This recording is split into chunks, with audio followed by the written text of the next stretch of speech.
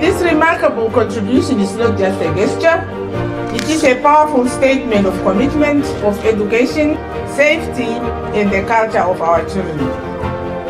So, hope Iranians Invest in Education campaign is a beacon of hope, having committed over 3 million in 2024 alone across the Omaheke, and the Erongo regions.